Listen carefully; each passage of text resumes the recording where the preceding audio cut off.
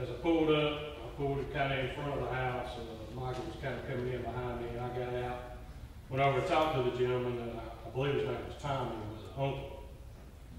Uh, And was telling me what was going on, I was like, well, what's happening? He's, he told me that his, uh, nephew, I guess, was running around, uh, out of his mind, talking about, uh, uh, having a gun to his head, he's gonna do it, he's do it, and if police come up, he would take care of them as well, so.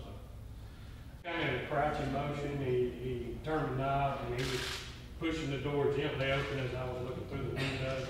I could see the gentleman sitting in a seat with his back to us.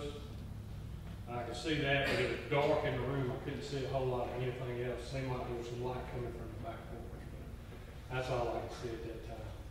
And then once Michael got the door to where it was open, I believe I said, Chris, and that was it. Once the door was open, and I said that as I peered around and looked, that's when Mr. Calmer stood up and started immediately shooting.